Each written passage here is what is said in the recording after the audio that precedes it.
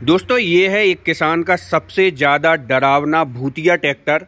इसको भूतिया ट्रैक्टर हम इसलिए बोल रहे हैं क्योंकि ये किसान के एक फार्म हाउस में खड़ा है। इस ट्रैक्टर के इंजन में ना तो बैटरी रखी हुई है, ना ही फ्रंट में हेलोजन लाइट है।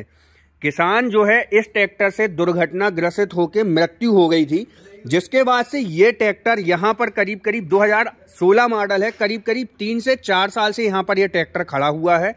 और इस ट्रैक्टर की सबसे बड़ी अनसुनी और सबसे बड़ी डरावनी बात यह है कि ये ट्रैक्टर आज भी रात में 12 एक बजे अचानक से स्टार्ट हो जाता है। यहाँ पर आप देख सकते हैं, डीजल वगैरह भी निकला हुआ है।